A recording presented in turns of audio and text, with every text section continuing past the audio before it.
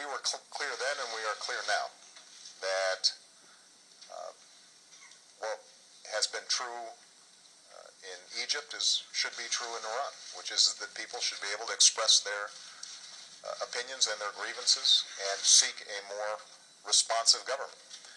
Uh, what's been different is the Iranian government's response, uh, which is to shoot people and beat people and arrest people.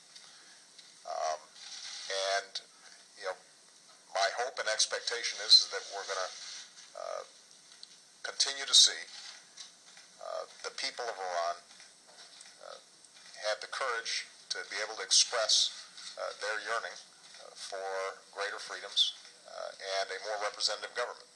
Understanding that America cannot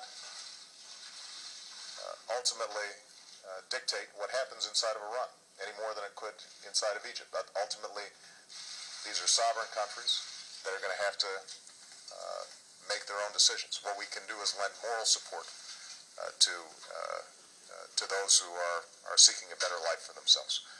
Uh, obviously, we're concerned about stability throughout the region. Um, each country is different.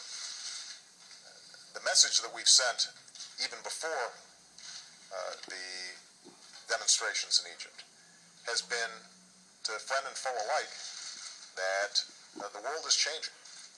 That you have a young, uh, vibrant generation uh, in, uh, within the Middle East uh, that is looking for greater opportunity.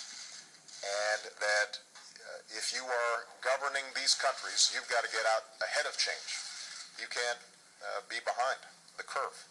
And so, you know, I think that the thing that will actually achieve stability in that region is if young people, if ordinary folks end up feeling that there are pathways for them to feed their families, get a decent job, get an education, aspire to a better life.